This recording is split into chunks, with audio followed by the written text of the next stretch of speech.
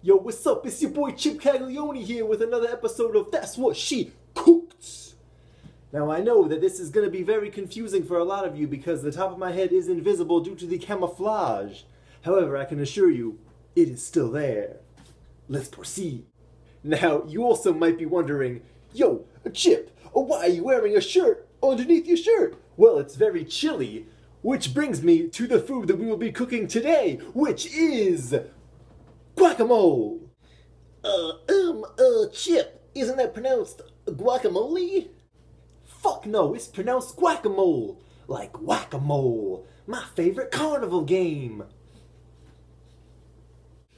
And also, please do not question me on the pronunciation of guacamole, for my name is Chip. I go with guacamole better than anything else. So, step one, get some ripe ass avocado, son. I already did this step because I started making this guacamole before I knew I wanted to make a video of it. So here you go. Guacamoles. Avocados. Uh, future guacamoles, to be clear. Uh, Chip, that was a really beautiful point about future guacamoles being avocados. Would you compare those to, say, eggs? Yo, son, that's a dope ass metaphor. Avocados are definitely the eggs to guacamoles omelettes. You be wondering, where your dope ass shades, Chip? Great question slash point and great double entendre, hypothetical audience member, Because you could mean, where are your dope ass shades? Or you could also mean, you should wear your dope ass shades.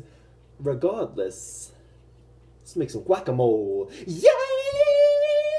Boom! So, not only are these shades dope as fuck, they're also practical as fuck. Because we're gonna be cutting some onions. Uh, so I know last week I talked about how I don't use knives like that show Chopped, and I also don't drink like Hannah Hot. However, I do have to use a knife for uh, cutting the onions, and I've also had nine samosas so far.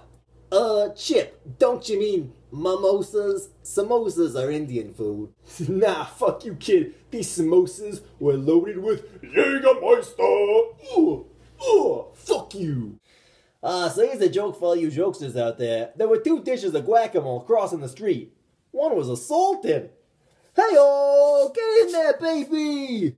Uh, so I am chopping these onions right now as we speak. I can't show it to you because the camera won't tilt down. I also am not going to be looking at the camera as I do it because if there's one thing that I care about very much on this show, it's responsible use of cutlery. I'm not just gonna, you know, look at it. I got, I got to be safe with this thing, you know.